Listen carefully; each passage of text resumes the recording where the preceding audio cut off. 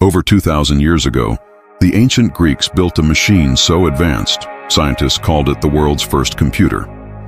In 1901, divers off the Greek island of Antikythera discovered a shipwreck filled with bronze statues and treasures. Among them was a corroded lump of metal.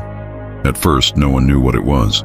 Decades later, X-ray scans revealed dozens of bronze gears, precisely cut with teeth finer than a modern clock.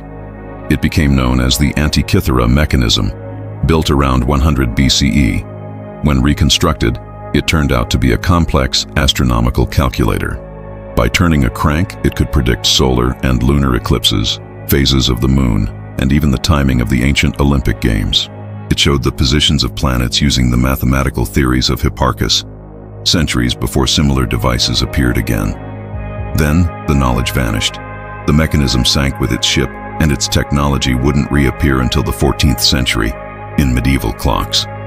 A forgotten bronze box, built by Greek hands, that proved the ancients understood the cosmos better than anyone imagined.